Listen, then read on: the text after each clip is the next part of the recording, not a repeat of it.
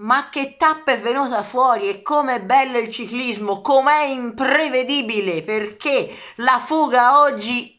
in una certa maniera arriva perché viene risucchiata proprio sul traguardo dal gruppo eccetto Dani- Damiano Cima che sembrava il più moribondo probabilmente tra i fuggitivi e invece scatta e riesce a contenere in qualche maniera il rientro da dietro dalla volata lunga di Pascal Ackermann e a vincere il, per la seconda volta in carriera, ma la prima vittoria pesante, vince, vince incredibilmente Damiano Cima questa tappa numero 18 davvero incredibile un finale incredibile con il gruppo che stava arrivando a fortissime velocità da dietro con i fuggitivi invece con maestri Nico Denz e proprio Damiano Cima che erano impegnati nella, eh, nella, loro fuga. E il gruppo stava arrivando da dietro, era un po' in ritardo, riesce eh, a, a, guadagnare tanti tanti secondi negli ultimi,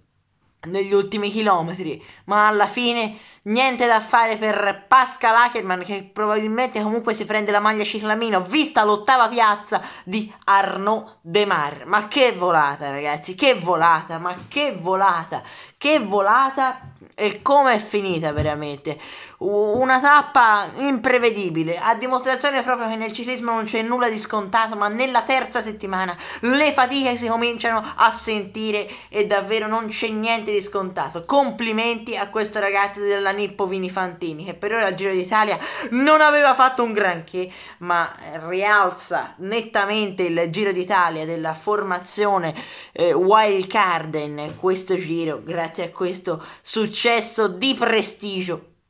in, in, questa tappa, davvero incredibile, davvero che bella tappa anche per il vento, magari resa più spettacolare, ma una tappa bellissima che ci introduce adesso alle ultime tre frazioni di questo Giro d'Italia. Mamma mia, che emozioni e che imprevedibilità veramente fino in fondo. Se lo merita, se lo merita perché i tre davanti comunque hanno fatto una fuga davvero stratosferica, stratosferica, sin dalla mattina sono riusciti a venire via e per poco non non arrivavano tutte e tre e lui invece ce l'ha fatta grazie alla tenacia, grazie alla tenacia. Sembrava Nico Dance quello a pedalare meglio, poi si è voltato proprio probabilmente